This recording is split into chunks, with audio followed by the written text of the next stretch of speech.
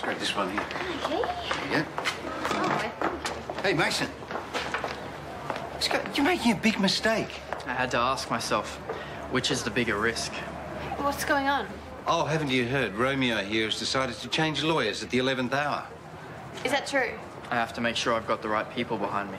Well, in that case, you shouldn't have chosen Rebecca and AJ over Tim Collins. Yeah, Paul's right. Tim Collins has so much experience. It's not his experience I'm worried about, it's what he intends to do with it. You see, they've convinced him that this whole thing's a setup. Is it? No, and quite frankly, I am appalled and offended that you should believe them. What made you change your mind? Well, come on. Come on, let's hear this half-baked argument that Rebecca's cooked up. It doesn't even matter.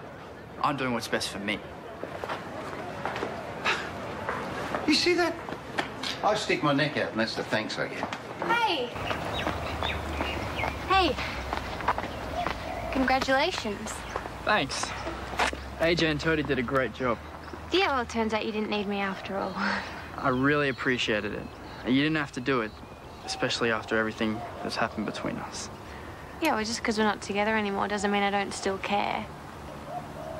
Look, I was thinking, seeing as you're getting your life back on track, Kate, listen, I... I, I was just going to say maybe you and I could get back on track.